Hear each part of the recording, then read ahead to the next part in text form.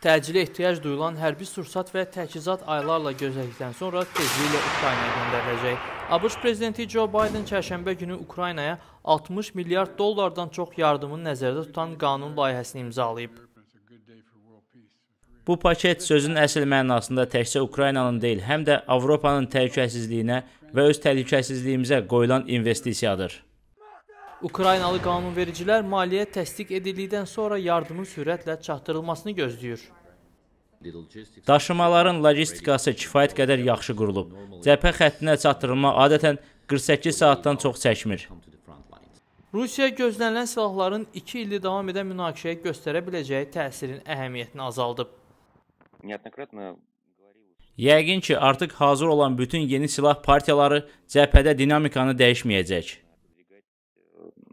продвигать, вернее, буферную zonu. ABŞ-ın xarici münaqişələrdə iştirakı ilə bağlı aylarla davam edən müzakirələrdən sonra Senat çərşənbə axşamı 79 leyhinə 18 əleyhinə səslə qanun layihəsini böyük səs çoxluğu ilə təsdiq edib. Senatda azlıq lideri Mitch McConnell yardımın təsdiqi üçün həmkarı demokrat Chuck Schumerlə sıx əməkdaşlıq edib. Biz müttəfiqlərimizə deyirik ki, biz sizinlə dayanırıq. Rəqiblərimizə deyirik ki, bizimlə çəkişməyin. Biz dünyaya deyirik ki, ABŞ demokratiyanı müdafiə etmək üçün hər şeyi edəcək.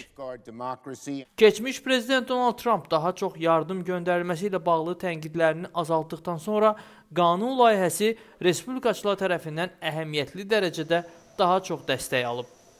Qanun layihəsində həmçinin İsrailə 26 milyard dollar, Tayvan və digər Hind Sakit Okean ölkələrinə Çinin təcavüzünə qarşı mübarizə məqsədi ilə 8 milyard dollar maliyyə vəsaitini əhatə edir. Çin isə yardımı qınayıb. ABŞ tərəfini konkret hərəkətlərlə Tayvanın müstəqilliyini dəstəkləməmək öhdəliyinə əməl etməyə və Tayvanı hər hansı şəkildə silahlandırmağa dayandırmağa çağırırıq.